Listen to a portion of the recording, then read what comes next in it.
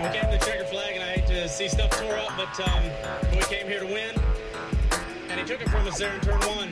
And, uh, man, I just couldn't let him take it from me. I had to do what I had to do. See, I've been liking Brad since the first day I saw him. When he used to race for Junior Carl, what the heck's your problem? What if a nice guy, hot under the collar? Are you that man that your is down on power?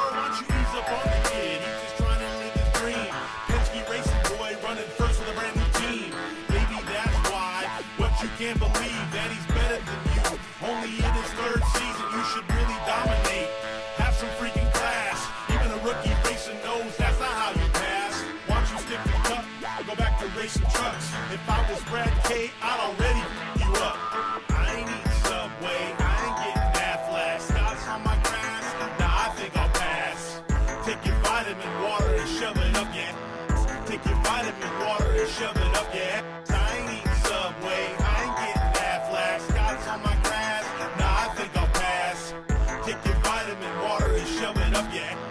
Thank you